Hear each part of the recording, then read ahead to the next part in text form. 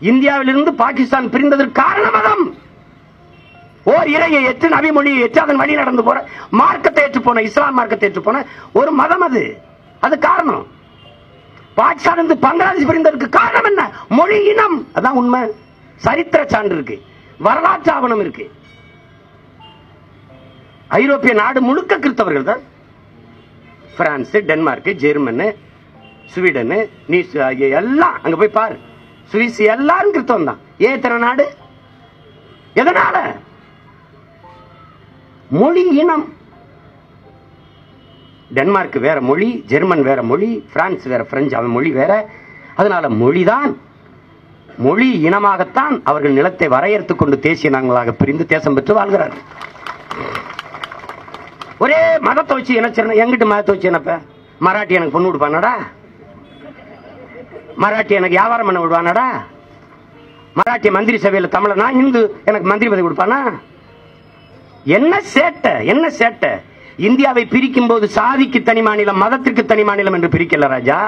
மொழி இனமாகத்தான் தேசிய இனங்கள் பிரிந்து மாநில உரிமை அதான் நீ செய்யணும் அது குறிப்பாக இஸ்லாமியர்கள் பாகிஸ்தான் பங்களாதேஷ் ஆப்கானிஸ்தானிலிருந்து வருகிற இஸ்லாமியர்கள் குடியுரிமை இல்லை. வச்சுக்க. நீ ஒரு கிண்டு கிரவுண்டு இடம் வச்சிருக்க உலகம் பூரா கிறிஸ்தவ இஸ்லாமியன் தான் இருக்கேன். அதே மாதிரி அமெரிக்கா சொல்லுது. ஏப்பா இங்க இருக்கிற இந்துலாம் கிளம்புப்பா. குடியுரிமை ஏற்றேன்ப்பா கிளம்பு கிளம்பு. அதே மாதிரி ஆஸ்திரேலியா சொல்லுது. அதே மாதிரி பிரான்ஸ் சொல்லுது. அதே மாதிரி ஜெர்மன் சொல்லுது. அதே மாதிரி ஸ்வீடன் சொல்லுது. அதே மாதிரி நார்வே சொல்லுது. அதே மாதிரி டென்மார்க் சொல்லுது. கனடா சொல்லுது. எல்லா நாடும் சொல்லிருச்சு. கிளம்புப்பான்னு. அதை இங்கே பார்த்துருக்க வேலை நீங்கள் கொடுப்ப வேலை வச்சிருக்கியா? வக்கு இருக்கா உனக்கு? உன்கிட்ட இல்லைன்னு தானே அங்கே போய் நிம்மதியாக வாழ்ந்துட்டு இருக்கியா? உன் சனியம் பிடிச்ச அந்த நாட்டில ஆட்சியில் இருக்காமல் போகணும் சொல்லு. அவன் திருப்பி அனுப்ப அனுப்பப்பட்டா உன்னே மாதிரியே ஒருத்தருக்கான் அங்கே இங்கே ட்ரம்ப்னு ஒருக்கு இருக்கேன். அவன் இங்கே அனுப்பி விட்டாங்கன்னா நீ என்ன பண்ணுவ? அவன் வாழ்கிற வசதியான வாழ்க்கையை கொடுக்க உனக்கு துப்பு இருக்கா? அவன் வாங்குற சம்பளத்தை வச்சிருக்கியா? நீ என்ன பண்ணுவ? பக்கோடா வைக்க விட்டுருவ. இல்லை டீ அவன் பக்கோடா வைப்பான் உனக்கு டீ வர நல்லா ஓடும். ஏன்னா பக்கோடா தின்னவே உன்னை டீ குடிக்கணும்ல. பாருங்க இவங்கள எவ்வளவா அந்த சிந்தனை அறிவியல் சிந்தனை தொழில் வளர்ச்சி? தூ, கேவலம். வெங்காய வெங்காயத்தை சொந்த குடிகளுக்கு விளைய வச்சு கொடுக்க முடியாது நல்ல வெங்காயத்தை. வெங்காயங்களால முடியல. விவசாயி ஏழு ரூபாய்க்கு விற்கிறான் கிலோ அது வாங்கிட்டு போய் இருநூறு ரூபாய்க்கு விற்கிறான் எவ்வளவு பிரச்சனை எவ்வளவு முரண் இருக்கு பாருங்க. எப்படி இருக்கு பாருங்க. ஒரு செய்தி போட்டிருக்காங்க ஒரு தம்பி. அது ஆதாரப்பூர்வமா வெங்காயம் வித்து ஒருத்தர் கோடீஸ்வரர் ஆகி வீடு கட்டிட்டாரு. பார்த்து கார் வாங்கிட்டார் வீடு கட்டிட்டு இருக்காரு. ஆ? ரெண்டு கோடிக்கு அதிபதி வெங்காயம் வித்து. நாம விவசாயத்தை தேசிய தொழிலாக்கி அரசு பண்ணியா மாத்தோம். அதெல்லாம் சாத்தியம் கிடையாது. ஒரு நாள் ஏதோ ஒன்று தெரியல உன்னை மரத்தில் கட்டி வச்சு வெங்காயத்தை அறுத்து கண்ணில் நல்லா தேய்ச்சிட்டு வெங்காயம். பாருங்க வன்முறையை தூண்டுற மாதிரி பேசுற டேய் அவன் போராடுற பிள்ளைகளை அடிச்சு கொள்றான்டா அதை வன்முறைன்னு பேச வா- அது சுலுக்கிக்கிறோம். நான் பேசின வன்முறைன்னு. பேசினதே இவ்வளவு கொடுமையா இருக்கு. செஞ்சனா இப்படி இருக்கும் இப்ப? ஏ, நாங்கள் இஸ்லாமிய மக்களுக்கு ஈழத் தமிழர்களுக்கு பாதிப்பு என்று இதை நாங்க போராடல. என் மக்களுக்கு குடியுரிமை நீ என்ன தருது? அதிகபட்சம் ஒரு பத்தாண்டு அஞ்சாண்டு பத்தாண்டு. அதிகாரம் எனக்கு வந்துச்சுன்னா இருப்பா. அதெல்லாம் ஒரு லட்சத்தி முப்பதாயிரம் பேர் என் மக்களுக்கு கணக்கு எடுப்பேன் குடியுரிமை விடுறா. இது தமிழ் தேசிய குடியரசு ராஜா. அந்த குடியரசில் அவனுக்கு குடியுரிமை. நான் ஏற்கனவே வரைவில் கொடுத்துருக்கேன். எல்லா பிள்ளைகளையும் போல என் பிள்ளைகள் பள்ளிக்கல்வியில் சேர்த்து படிக்க வைப்போம். அவர்களுக்கு அரசு பணியில் வேலை கொடுப்போம். நீ அங்கேருந்து கத்திக்கிட்டு இருப்பா. ஐயோ குய்யோ ஐயோ ஐயோ ஆ. பத்திரிகையாளர் இவருக்கு இதற்குத்தான் இவர்களை வர வேண்டாம் என்று சொன்னோம். இவர் பிரிவினைவாதி இவர் செப்பரேட்டிஸ்ட் இவர் ஒரு தீவிரவாதி. நான் இந்திய நாட்டை துண்டாட வந்தார் வந்தார். நம்ம போயிட்டு இருப்பேன். அவன் என் உள்ளுக்குள்ள ஒரு பஞ்சு வச்சிருப்பேன் எனக்கு தெரியாது. நம்ம போயிட்டே இருப்பேன். அதை பேசுவேன். அப்ப கேட்கும்போது இந்த நாடு இந்தியாவில் தான் இருக்கிறதா? சந்தேகமா இருக்கிறது. நான் ஆமா இந்த நாடு இந்தியாவில் தான் இருந்ததா? எனக்கு சந்தேகமா இருக்குது. நீ என்ன கொடுத்துருக்க எனக்கு? என்ன கொடுத்துருக்க? என்ன கொடுத்துருக்க? நீ ஜிஎஸ்டி எடுத்துட்டு போனதுல எனக்கு எத்தனை ஆயிரம் கொடுத்துருக்க? நூறு ரூபாய் திருப்பி கொடுத்துருக்கியா? ஜிஎஸ்டியில் கொடுக்கல. நான் வந்தா நீ வாங்கிடுவியா ஜிஎஸ்டி நோ வரி. நீ வெள்ளக்காரன் காலத்துல வரிகொடா இயக்கம் நடத்தின மாதிரி நான் உன் காலத்துல வரிகொடா இயக்கம் நடத்துவேன். போடா வரி கிடையாது ஒரு வயல் வரி கிடையாது கணக்கு கண்டு தான் தானம். எனக்கு மிச்சம் இருந்தா தாரை வாங்கிட்டு போ. எனக்கே பத்தல போ. ராஜா உனக்கு சோறு போடுறேன் சரி. ஆனா உனக்கு போட்டு ஓன் தட்டில் பிச்சடி சாப்பிட முடியாது. புரியுதா? நீ என்னை விட மாட்ட ஏன்? இந்தியாவின் பொருளாதாரத்தை நிறைத்துக் கொண்டிருக்கிற மாநிலத்தில் இரண்டாவது அண்ணா தான். ஆறாயிரம் கோடி எனக்கு திருப்பி தரணும் தமிழ்நாடு அரசுக்கு மத்திய அரசு. தருமா? தராது. ஆனால் அங்க போங்க ரஷ்யாவுக்கு ஆறாயிரம் கோடி நான் கடன் கொடுக்குறேன். பெரிய குபேரர் பேர இவரு. நீயே பிச்சைக்காரன் நாடடே ஏய் நீயே நாலு புள்ளிக்கு கீழே போயிட்டு இருக்கடே பாகிஸ்தான் பங்களாதேசத்தை நேபாளத்துக்கு கீழே போயிட்டு இருக்க உலக வங்கி உனக்கு சொல்லுது. காதல விழுதா? எப்பா கீழே போய்கிட்டு இருக்கேப்பா. உனக்கு ஒரு கவலையும் இல்ல. பசுமாடு பாகிஸ்தான் பக்கத்து நாடு. ஜெய் ஸ்ரீராம் கோசம் அது போதும் உனக்கு. நீ நாடு மக்களை பற்றி தம்பிகளா என் அன்பு பிள்ளைகளே நாட்டையும் மக்களையும் சிந்திப்பவனுக்கு சாதி மதம் கடவுளை சிந்திக்க நேரம் இருக்காது. சாதி மதம் கடவுளை பற்றி சிந்திப்பவனுக்கு மக்களையும் நாட்டையும் பற்றி சிந்திக்க நேரம் இருக்காது. அது அவசியம் இருக்காது. முடிச்சு விட்டுருவான் நான் சொல்றதெல்லாம் உனக்கு சிரிப்பா இருந்தது. நான் அஞ்சு தலைநகர் மாத்தோன்னா இவரு என்னங்க இவரு? காமெடியா பேசுறாரு அந்த ஜெகன்மோகன் ரெட்டி மூணு மாநிலம் மூணு தலைநகர் பிரிச்சுட்டு இருக்காரு. போலீஸ்காரர்களுக்கு சுழற்சி முறையில் விடுமுறை விடணும். நானும் சொல்லி சொல்லி ரொம்ப சோர்ந்துட்டேன். தம்பி எல்லாம் கிட்ட வந்து சீக்கிரம் வாங்கினேன். ஆ முடியலண்ணே நீங்களா வந்து ஏதாவது விடுமுறை விடுங்கண்ணே. ஏதாவது தம்பி அண்ணே சீக்கிரம் வாங்கினேன் நானா மாட்டேங்கிறேன். ஏப்பா நானாப்பா மாட்டேங்கிறேன். எதப்பா? சீக்கிரம் வாங்கினே ஒரு அம்மா வந்து மருத்துவ முகாம் நடத்தி கொண்டு இருந்தோம் ஒரு அம்மா ரொம்ப நேரம் ஒரு அம்மா நின்னாங்க. சும்மா அவங்க ஐயர் அம்மா ஐயர் விட்டு அம்மாவை தான் இருக்க முடியும். அப்படியே நின்று இருந்தாங்க. என்னையே பார்த்துட்டாங்க. அம்மா அப்படின்னு கூப்பிட்டாங்க. அம்மா என்னம்மா? உன்னையே தான் பார்த்து போகலான்னு நிற்கிறேன் சொல்லுங்கம்மா அப்படின்னு கையை பிடிச்சிட்டு திடீர்னு விசிம்பி அழ ஆரம்பிச்சிட்டாங்க. என்னம்மா? அப்படின்னு. பிள்ளைகளை பள்ளிக்கூடத்துக்கு அனுப்பிட்டு நிம்மதியாக வீட்டில் இருக்க முடியல. சீக்கிரமாக வந்து இதுக்கு ஏதாவது செய்யி. போயிட்டு வரணும் அதுதான் அதான் அந்த வழியை தான் சொன்னேன். நான் வந்தால் போட்டு தள்ளிடுவேன். இவன் ஏதாவது ரூபாய் அவர் ஜெகன்மோகன் ரெட்டி பேசுறாரு.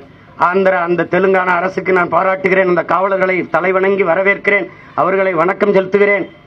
உடனடியா ஒரே வாரத்தில் விசாரிக்கணும் உடனடியா தூக்கு தண்டனை நிறைவேற்றணுங்கிறார் அதான் நான் சொல்றேன். நான் அந்த கயிறு செலவை மிச்சம் பண்ணணுங்கிறேன் அந்த வழக்கு செலவு மிச்சம் பண்ணணும்ன்றேன் ஒன்று தெரிஞ்சுக்கிறீங்க என் பிள்ளைகளை தொட்டால் கொன்னுடு வாங்குற பயம் வர்ற வரைக்கும் இது சரி வராது. பாலியல் இச்சையோடு என் பெண் பிள்ளைகளை நீ நினைப்பதும் தொடுவதும் நடந்தால் நீ உயிரோட இருக்க மாட்டாய் என்கிற நிலையை உருவாக்கு. நீ எங்க ஆத்தாளப்ப எங்க அக்கா தங்கச்சி எல்லாம் பொம்பளை பிள்ளையில அனுப்புவது பார்த்து பத்திரமா போயிட்டு வாப்பா. பா பத்திரமா போயிட்டு வாடா. அப்படின்னு பயந்துக்கிட்டு எங்க பிள்ளை எங்கன மூக்க மறைச்சு துப்பட்டா போட்டு போதுல அதே மாதிரி ஆம்பளை பிள்ளை நடக்கிற மாதிரி பண்ணிடுவேன். என்ன பண்ணுவேன்? வீட்டுல அம்மா அப்பா பிள்ளைகளை போட்டு கவனமா போயிட்டு வராசா நம்மளை பிள்ளை நேரிச்சு பத்திராதாப்பா அப்பா அப்பா, நல்லா இருப்பாதாப்பா. அந்த பிள்ளை பிடிக்கலைன்னு தான் வந்திருப்பா. அசிட்டை கிசிட்டு அடிச்சிட்டு செத்துறாதப்பா. கொண்டுருவாப்பா அவன் கொண்டே வருவாப்பா அப்பா நான் ஒன்னு சொன்னனே. பொள்ளாச்சியில ஆறு வயசு பிள்ளையை வன்புணர்வு செஞ்சு கொண்டானா வீட்டுல போய் சொல்லுவேன். அழாதீங்க ஆறுதலா இருங்க கவலைப்படாதீங்க. அடக்கம் செய்யாத கொஞ்சம் நேரம் எங்கடா அவன்? போடுறான் போட்டியா? அவனை போத? இப்போ போதிச்சிருங்க வேணுமா ரொம்ப கிடையாது நாலு. நாலு போட்டினா செட்டில் ஆயிடும். ராஜா இது இல்லாம சரி பண்ண முடியாது ராஜா. ஓடுறான். நூறு மீட்டர் ஓடுறான் இருநூறு மீட்டர் ஓடுறான் எண்ணூறு மீட்டர் ஓடுறான் ஆயிரத்தி ஐநூறு மீட்டர் ஓடுறான் ஐயாயிரம் மீட்டர் ஓடுறான். எப்படி வேணாலும் ஓடி வெற்றி கோட்டை தொடர்ந்து சொல்லுவதில்லை ராஜா. ஒரு கோடு போடுறான் அந்த கோட்டுக்குள்ள ஓடுன்றான். ஓடுறவனுக்கே கோட்டு போட்டு ஓடணும்னா அப்ப நாட்டுக்கு எப்படி இருக்கணும்? இது சரி வராது. நான் ஒண்ணு கேட்கிறேன் மனித உரிமை ஆர்வலர்கள்ட்ட. உங்க பிள்ளையை ஒருத்தன் தூக்கிட்டு அவனை சட்டப்படி நீதிமன்றத்தில் நிறுத்தி. உங்க பிள்ளை வன்புணர்வு செஞ்சு இதே மாதிரி சாராயத்தை ஊத்தி கொலை பண்ணி எரிச்சு போட்டான். மனித உரிமை மீறாமல் சட்டத்தின் முன்பு நிறுத்தி நீதிமன்றம் என்ன தண்டனை கொடுக்குதோ அதை பெற்றுக் கொடுங்க. சுட்டுக்கிட்டு விட்டுறாதீங்க. அப்படி சொல்ல யாராவது இருந்தீங்கன்னா சொல்லுங்க கடைபிடிப்போம் சோமாலியா நாட்டில் ஒரு நீதியரசர் பாலியல் குற்ற- குற்றவாளிகளுக்கு இப்படி முன்னாடி நிற்கிறாங்க நீங்கள் வலைவெளியில் இருக்கு பார்க்கலாம். உனக்கு வந்து உயிர் உறுப்பை அறுத்து வீசணும். அதான் தண்டனை. அதை நானே செய்வேன்னு அறுத்து வீசிட்டேன். நினைக்க பயப்படுவாங்களா ராஜா? கனவுளோட நினைக்க மாட்டான். இப்படியே போவான். பொம்பளை பிள்ளைகளை தலை முடிஞ்சு நடக்கணும்ன்றால அதே மாதிரியே இப்படியே போவான். நீ பாரு போராடம் இல்லையா போவான்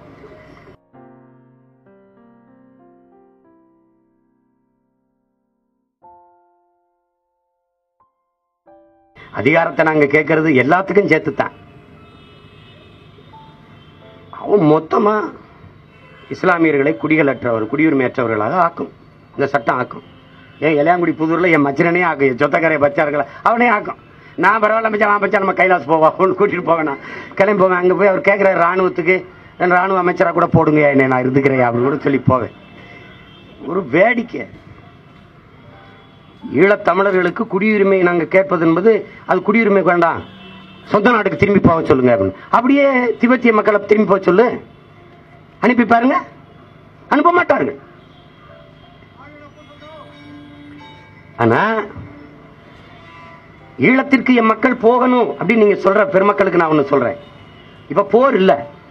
போர் முடிஞ்சு பத்து ஆண்டுகள் ஆயிடுச்சு. புலிகள் நாங்க அங்க இல்ல. சிங்கள ராணுவம் தான் இருக்கு. நாடு அமைதியாயிடுச்சு. நீங்க எல்லாம் சொல்றீங்க. ஆனால் இன்னும் என் மக்கள் அங்க வாழ முடியாதுன்னு எதிலியா அகதியா என் நிலத்திற்கு தமிழகத்திற்கு வர காரணம் என்ன? ஏன்னா வாழ முடியாத நெருக்கடி. தம்பி களஞ்சியம் பதிவு செஞ்சார் பாருங்க. நாலு பேருக்கு ஒரு ராணுவ வீரன்.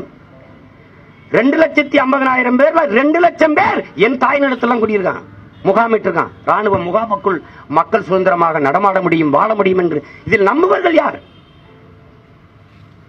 யாரையும் இழுத்துட்டு போகலாம் வன்புணர்வு செய்து கொலை செய்யலாம். யாரையும் தூக்கிட்டு போய் சுட்டு போடலாம். கேட்க நாதி கிடையாது. கொலைக்களத்திற்கு என் மக்களை அனுப்பு என்று சொல்வது எப்படி? கசாப் கடைக்காரன் ஆட்டை பத்திரமா பார்த்துக்கணும் ஒப்படைப்பது இப்படி பைத்து கடத்தணுமோ அதே மாதிரிதான் இது. என் மக்கள் விரும்பும் போது அங்க போகட்டும். ஆனால் விரும்பி நாங்கள் போறோம் என்று சொல்கிற மக்களை அதிக காலங்கள் இங்கே தங்கியிருந்து விட்டீர்கள் என்று நீ என்ன பாடுபடுத்துறீங்க? ஒரு ஆண்டுக்கு இவ்வளவுன்னு தண்டை வச்சிருக்கீங்க. நாலு லட்சம் அஞ்சு லட்சம் ஆறு லட்சம் கட்ட வேண்டியது வருது. அவங்க எங்க போவாங்க? முகாமில் இருந்த மக்கள் நாலு லட்சம் எங்க போவாங்க? நேர என் அலுவலகத்தில் வந்து நிற்கிறாங்க அவர்களோடு சேர்ந்து நாங்களும் கண்ணீர் பிடிக்கிறோம் இந்த நிலைமையை மாற்றாது நீ அங்க போ. அங்க போனா எப்படி இருக்கு பாருங்க. விரும்பும் போது என் மக்கள் அங்கு செல்லட்டும். அதுவரை இந்த நாட்டில் குடியுரிமை கொடுத்து குடிமக்களாக வாழவை. அதனால என்ன பிரச்சனை? படிக்க முடியல. படிச்சா வேலைக்கு போக முடியல. ஒரு மிகச்சிறந்த நீச்சல் வீராங்கனை ஒரு தங்கை என்னிடத்தில் வந்தா என்னென்னமோ பண்ணி பார்த்தேன். முடியல. அவள் இந்த நாட்டின் குடியுரிமை பெற்ற மகளாக இருந்தால் இந்தியாவிற்கு ஒரு தங்க பதக்கத்தை பெற்றுக் கொடுத்திருப்பார் உலக நாடுகளும் அப்படியா இருக்கு? கனடாவில் ராணுவத்தில் என் பிள்ளை இருக்கான். விமானம் ஓட்டுறான். வானவ நிலையத்தில் வேலை பார்க்குறான். மருத்துவத்துறையில வேலை பார்க்குறான். என் பிள்ளைகள்லாம் படிச்சு அந்த நாட்டின் மருத்துவர்களா இருக்கிறாங்க. கனடாவுக்கு எனக்கு என்ன சம்பந்தம் இருக்கு? அந்த நாடு நவம்பர் மாதத்தை தை மாதத்தை எல்லாம் தமிழர் கலாச்சார நாட்கள மாதங்களாக அறிவிச்சு கொண்டாடுது. பத்து கோடி மக்கள் அங்க இருக்கோம். தமிழர் தாயகத்துக்கு மட்டும் இந்த நிலத்திற்கு மட்டும் எட்டு கோடி தமிழ் மக்கள். கர்நாடகாவில் ஒன்னே கோடி தமிழர்கள். எல்லா மாநிலங்களிலும் முப்பது லட்சம் நாற்பது லட்சம் பதினஞ்சு லட்சம் இருபது லட்சம் என்று பத்து கோடிக்கு குறைவில்லாத எண்ணிக்கையில் இந்த இந்த நிலப்பரப்புக்குள் தமிழ் தேசிய மக்கள் நாங்கள் வாழ்றோம். எங்களுக்கு என்ன அங்கீகாரம் இருக்கு? எங்கள் ரத்த சொந்தங்களை வந்தவனை எல்லாம் வசதியாக வாழ வைத்த நாங்கள் எங்கள் சொந்த ரத்த உறவுகளை அகதியாக வாழ வைப்பது எவ்வளவு அபமானமானது அவமானமானது எவ்வளவு வழி தொய்ந்தது என்பதை அறிவார்ந்த என் மக்கள் என் தமிழ் சொந்தங்கள் சிந்திச்சு பார்க்கணும். நீ போய் என்ன செஞ்சாயின்னு? என்னை விடு நான் என்ன செய்யறேன் பாரு. ஒரே ஒரு தடவை புயல் பாதிப்பில் வெள்ளச்சேதத்துல போய் நான் பார்த்துட்டு வந்தேன். கும்மிடிப்பண்டியில் இருக்க முகாமில் போய். நீ என்ன பண்ணீங்க? எதுக்கு வந்தார்? ஏன் வந்தார்? என்ன பேசினார்னு அவ்வளவு வாலிப பிள்ளைகளையும் பெண்ணுகளையும் பிடிச்சு அடிச்சு முழங்கால முட்டிக்கால நொறுக்கி சித்தாவா பண்ணி விட்டீங்க. எவ்வளவு வழி தாங்கி நிக்கிறேன் பாருங்க. கியூ பிராஞ்சுன்னு ஒன்று ஒரு ஒரு பிராஞ்சை உருவாக்குறது இந்த கருணாநிதி. சிறப்பு முகாம் என்ற ஒரு வதை முகாமை உருவாக்குனது இந்த ஐயா கருணாநிதி அவர்கள். யாருக்காக கிவிராஞ்சி ஆனால் தமிழ் மக்களின் உரிமைக்கு போராடுகிற தமிழ் இன தலைவர் இப்ப ஐயா ஸ்டாலின் சொல்லி ஈழத்தமிழர்கள் கண்ணிலிருந்து ஒரு சொட்டு கண்ணீர் வரவிட மாட்டோம். சிந்துறது கண்ணே இல்லையே. அப்புறம் என்ன நாங்க கண்ணீர் சிந்துறது? இதெல்லாம் உங்களுக்கே கூச்சமல்லையா இப்படி நாடகம் போடுறது? இப்படி நாடகம் போடுறது? கொன்னு குவிக்கும் போது கூட நின்று வேடிக்கை பார்த்து துரோகத்தை செஞ்சுட்டு ஈழத்தமிழ் மக்களுக்கு குடியுரிமை கொடு. பதினெட்டு ஆண்டுகளாக தொடர்ச்சியா மத்திய மந்திரி சபையில் இருந்தது. யார்? யார்? பத்தாண்டு கால காங்கிரஸ் ஆட்சியில் ஒன்பதரை ஆண்டுகள் மன்மோகன் சிங் தலைமையில் இந்த ஆட்சியில் நீங்கள் இருந்தீர்களே. அப்போது இந்த மக்களுக்கு குடியுரிமை பெற்று தராது என்ன படி கொண்டிருந்தீர்கள்? என்ன செய்து கொண்டிருந்தீர்கள்? கேவலம்.